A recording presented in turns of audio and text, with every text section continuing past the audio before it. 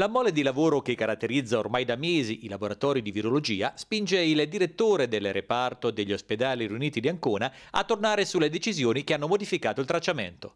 Lo stesso professore, sempre molto efficace nei suoi interventi, non tralascia di sottolineare che sarebbe stato importante metterci più coraggio.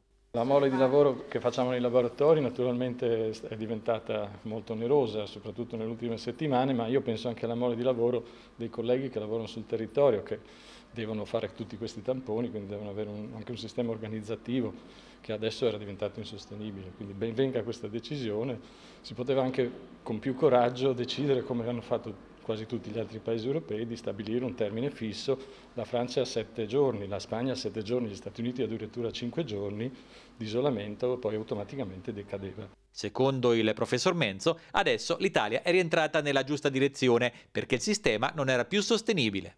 Diciamo che la situazione in Italia era un po' un'anomalia nel contesto mondiale. L'Italia era l'unico paese che faceva un tracciamento delle, dei contagi eh, così eh, con tamponi molecolari, così preciso, così puntuale, esa assolutamente esagerato.